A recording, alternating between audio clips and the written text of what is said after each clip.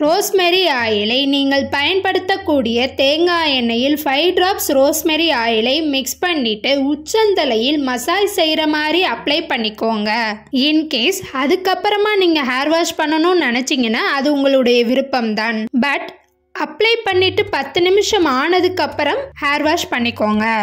அதே மாதிரி ரோஸ்மெரி ஆயிலை நீங்கள் பயன்படுத்தக்கூடிய ஹேர் க்ரீம் மற்றும் ஹேர் கண்டிஷ்னர் கூடையும் மிக்ஸ் பண்ணி பயன்படுத்தலாம். ஆனால் உங்கள் ப்ராடக்ட் இருபத்தெட்டு கிராமுக்கு ரோஸ்மெரி ஆயிலை த்ரீ டு ஃபைவ் ட்ராப்ஸ் மட்டும் சேஃபாக மிக்ஸ் பண்ணி நார்மலாக யூஸ் பண்ணிக்கோங்க.